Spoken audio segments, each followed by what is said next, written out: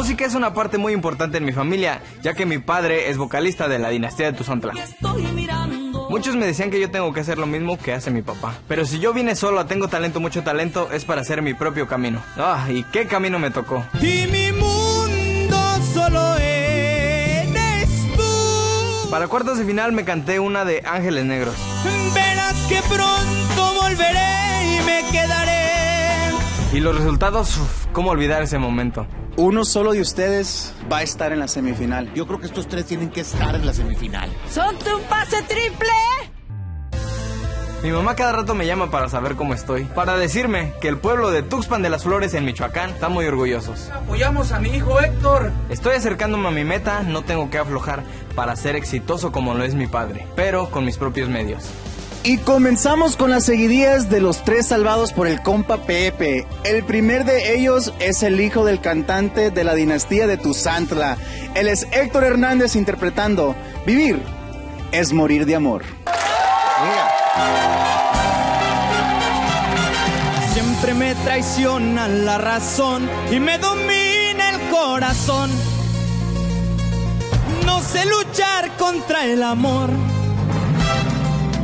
Siempre me voy a enamorar de quien de mí no se enamora. Es por eso que mi alma llora. Y ya no puedo más, ya no puedo más. Siempre se repite la misma historia. Y ya no puedo más, ya no puedo más. Estoy harto de rodar como una noria.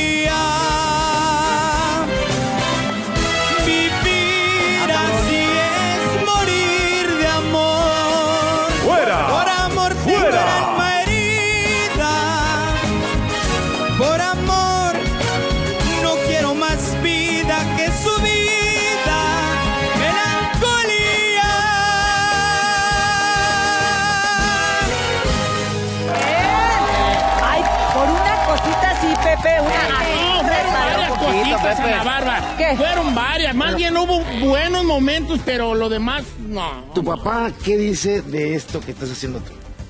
Está muy orgulloso. No creo yo, porque tu papá canta canciones rancherotas del pueblo. O sea, está bien el tema, está muy bonito y toda la cosa, Es que pero cada quien su estilo, Choco. yo lo Sí, sé, no yo lo sé, eso. pero aparte de la greña es esta, Pepe, ¿qué es eso? más allá de la greña, porque ya ves que, por ejemplo, Ed Maverick, hay raza que tra- trae las greñas de, pues, ese estilo que es un este... Sí, pero él, él las trae de Lord Farquaad, del de Shrek.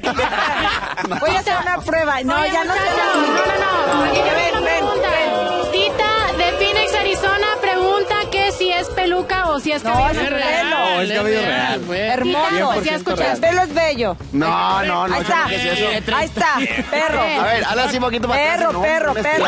Ah, se mueve. De lado, de lado. Ahí está. Ya mejoró. Me gusta mi niño. Y listo. Mira, Héctor, de tus tres actuaciones, para mí esta es la que menos me ha gustado.